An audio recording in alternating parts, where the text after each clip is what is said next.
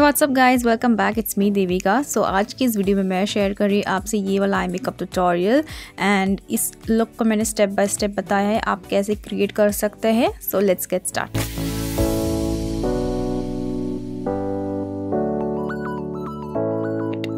तो यहाँ पर इस लुक को क्रिएट करने के लिए मैंने लिया है व्हाट्सअप ब्यूटी का डेजर्ट मॉनसून पैलेट बहुत ही ब्यूटीफुल सा पैलेट है एंड प्लस ट्रेवल फ्रेंडली है। साथ ही बहुत ही हाईली पिगमेंटेड पैलेट है ये। सो आई बेस के लिए यहाँ पर मैंने पैक का कवर टेक कवर कंसीलर लिया है। एंड इसको मैं अपने आईलिट पे अप्लाई कर लूँगी। एंड येस पाउडर से इसे मैं सेट नहीं करूँगी। अगर पाउडर से सेट कर दी तो पिगमेंटेशन अच्छी नहीं आएगी शेडोज़ की, इसलिए मैं सेट नहीं करूँगी।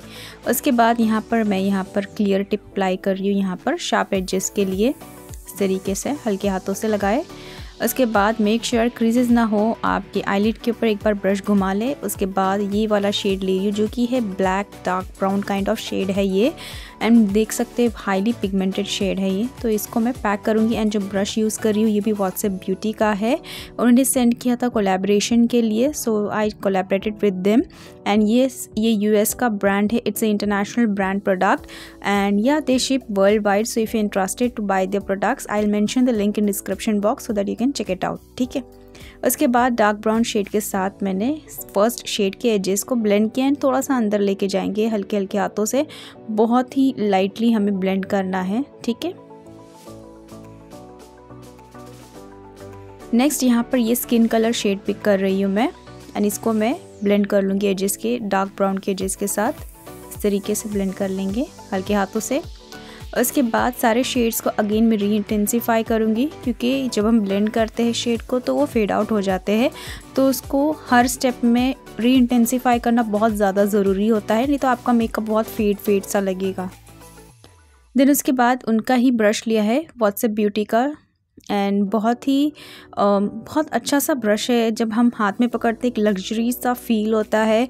So guys you can definitely check out their page Instagram पर उनका पेज है and they ship world wide तो लिंक डिस्क्रिप्शन बॉक्स में है चेकआउट कर लेना। उसके बाद मैं जिसको ब्लेंड कर लूँगी क्लीन ब्रश के हेल्प से एंड इनके ब्रश बहुत ही ज़्यादा अच्छे हैं गाइस एंड प्लस पैलेट भी। उसके बाद यहाँ पर मैंने वही कंसीलर लिया है क्रीज़ को कट कर लेंगे। हाफ़ कट क्रीज़ कर रही हूँ यहाँ पर मैं। इस तरीके से। क्विकली कर लेंगे half cut crease and blend कर लेंगे एजेस के यहाँ पर भी। इसको मैं सेट नहीं करूँगी डायरेक्टली ये मेहंदी कलर का जो एम्ब्राल्ड ग्रीन शेड है, उसको मैं अप्लाई कर रही हूँ यहाँ पर।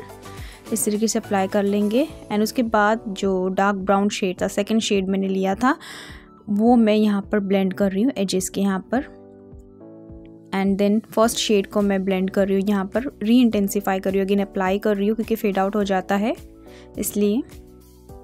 एंड ये जो ब्रश है ये सिग्मा का है बहुत ही अच्छा ब्रश है गाइज़ अगर आप कोई ऐसा ब्रश देख रहे हैं जो क्रीज पर डायरेक्टली वर्क करे तो ये सिग्मा का नंबर मुझे याद नहीं है. मैं मेंशन कर दूँगी डिस्क्रिप्शन बॉक्स में डिटेल्स वगैरह तो आप चेकआउट कर सकते हैं.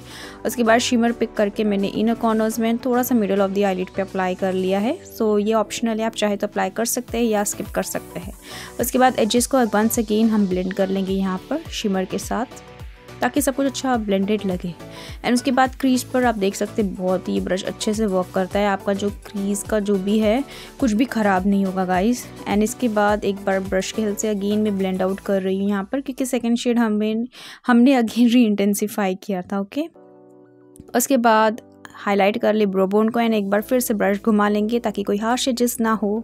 ठीक है उसके बाद यहाँ पर मैं लाइनर अप्लाई कर रही हूँ। ये ABH का लाइनर है तो एक बहुत ही पतला सा थिन सा लाइनर ड्रॉ कर रही हूँ। एंड प्लस उसके साथ ही मैं सेलो टेप को रिमूव करके एक बहुत ही ना way, very close to my lash line lashes sorry lashes एक थिन लाइनर ड्रॉ कर लूँगी इस तरीके से।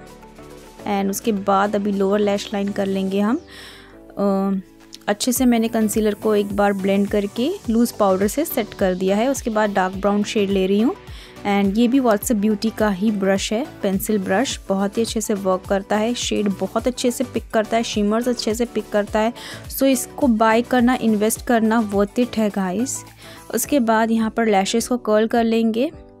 एंड वाटर लाइन पे मैंने ब्राउन काजल अप्लाई किया है, जो कि है मिस रोज़ का।